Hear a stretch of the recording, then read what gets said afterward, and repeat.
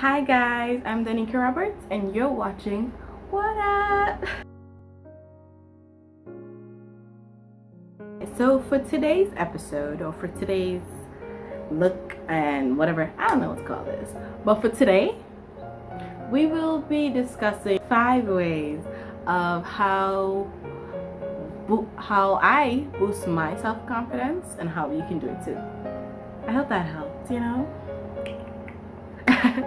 so some key information that will help this get even better is you should know one your mirror is gonna be your best friend because at the end of the day the mirror is just reflecting you.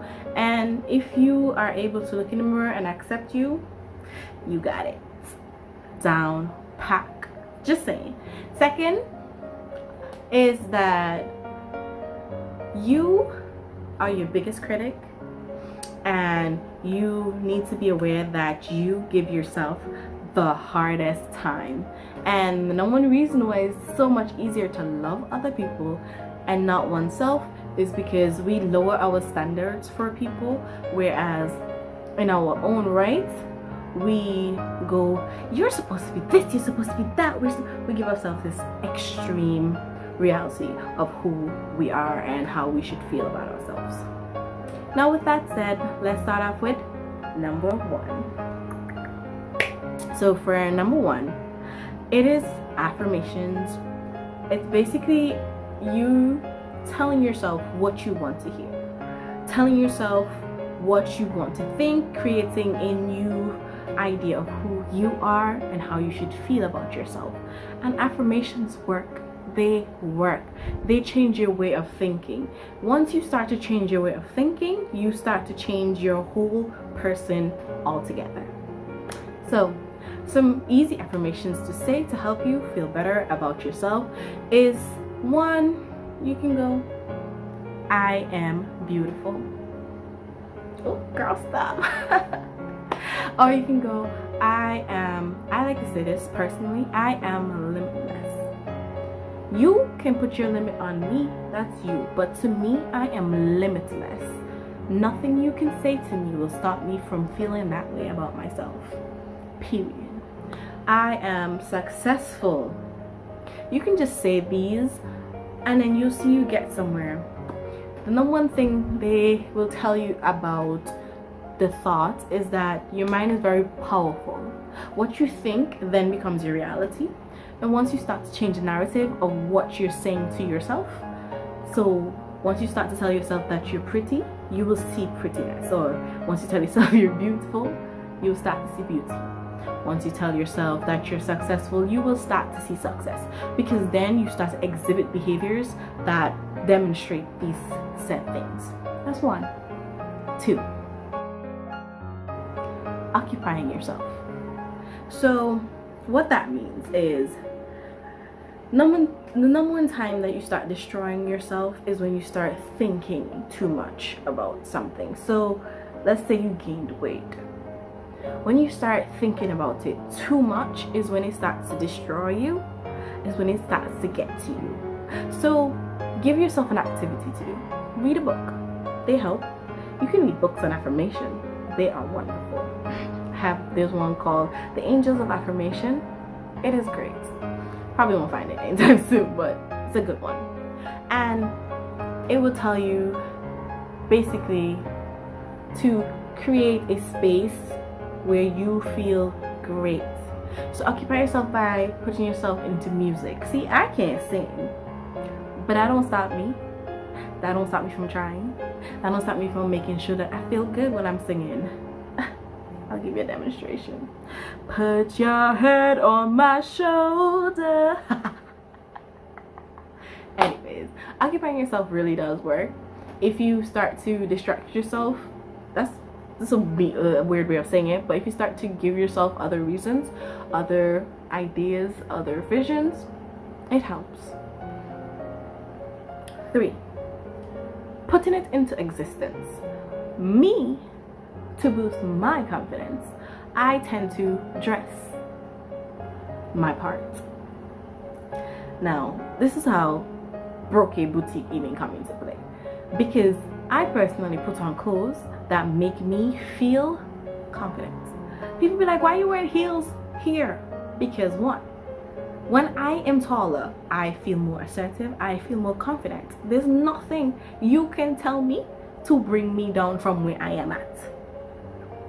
Two, when I put on that outfit and I walk down that road and you go, why is she so extra? I go, well, baby, extra, extra, read all about it, okay? Because I'm content with where I am, I'm content with who I am, I'm content with the appearance that I have now. You can either hate it or you can appreciate it. At the end of the day, people still do what they want to do. I think that was number, number three, right? Number four. Talking to yourself. now, people would have this idea that talking to yourself is a crazy action because of answering yourself. But I like to think that the number one person you can go to about your problems is you. You're the only person who can understand it the way you do. You're the only person who will reason to your level, to your understanding. So talking to yourself is like, okay, so somebody, let's say somebody threw a comment about something that you yourself are fully aware of that you you don't like very much. So let's say you just gained weight and you're aware of it and somebody goes, oh, Caribbean people love to do this. Long time I don't see you. You get so fat. You just like, thank you. Ah, I really, I noticed. I, I noticed, but thank you for telling me and hitting me where it hurts. So imagine you go, you can either tell yourself, oh, look at me, I'm so fat.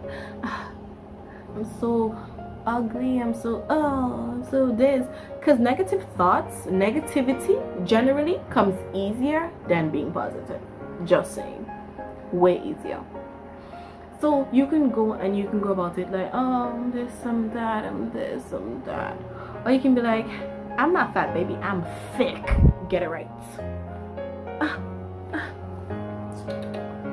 and if you're me you probably tell somebody that straight up They'd be like, you're fat. I'm like, no, baby, I'm thick. Get it right. The fat is in the right places. God intended for it to be this way. God intended for me to shape this way. Sorry that you're a hater, but this is it. And sometimes people do this to skinny people. It's when you realize if you're out here trying to please society, you forever, forever, forever be running crazy because they are hard to please. Because they be making fun of skinny people too. Oh my gosh you're so twig like nobody feed you. Oh my gosh you lost so much weight. Why you look so oh bones no meat people are mean that's all i'm saying and the last one number five is surround yourself with people who make you want to be better. Surround yourself with people who make you feel amazing. I know it's like you can't always depend on people. Just imagine if you had a hype man or a hype woman like like me per se. Care who you are, what you're doing. If you're doing something and I'm a fan of it, I'm gonna be like, yes! Why? Because it's free. It's free to do it.